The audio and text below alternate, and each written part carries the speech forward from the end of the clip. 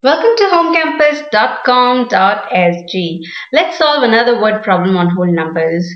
A mom is three times as old as her son. Okay, so three times as old as her son. Ten years later, the mom will be two times as old as the son.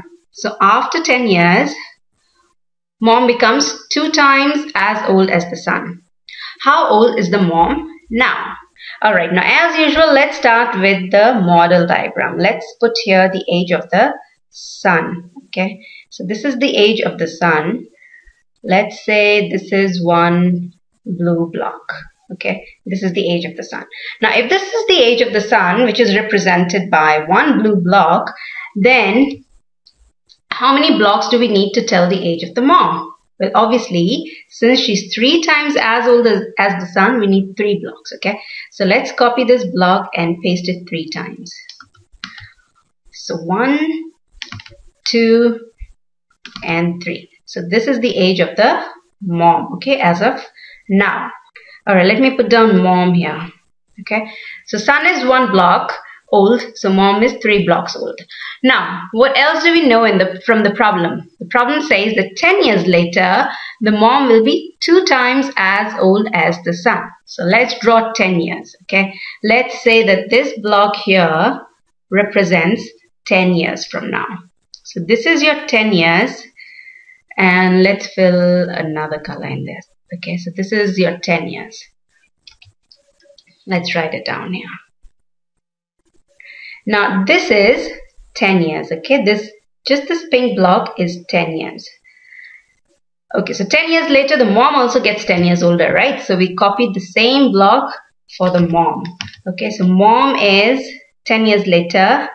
She is three blocks plus one pink block.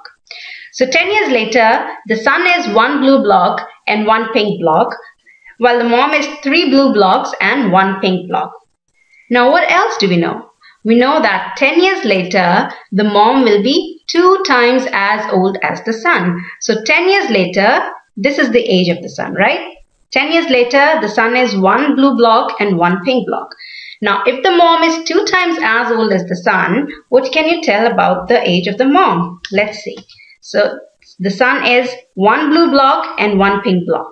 Then the mom must be two times one blue block and one pink block, right? Because she is two times as old as the son 10 years later.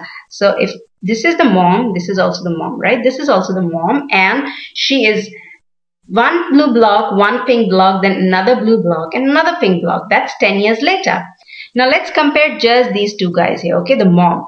The mom is 10 years later this age and we also know that the mom is 10 years later this age which is if you look at the top one, you have one blue block, then a pink block, then a blue block, then a pink block. And if you look at the bottom row or the middle row, the mom is three blue blocks and one pink block. Now let's compare the two rows for the mom block by block. We have one blue block here and one blue block here. Then you have one pink block and a blue block. Alright, skip these two blocks for now. So then what you have is another blue block and another blue block. Then you have a pink block and a pink block. Now let's see, what are we left with and what can you tell from this? That since these two rows are equal, then this pink block here that I'm shading in yellow must be equal to this blue block that I'm shading in yellow.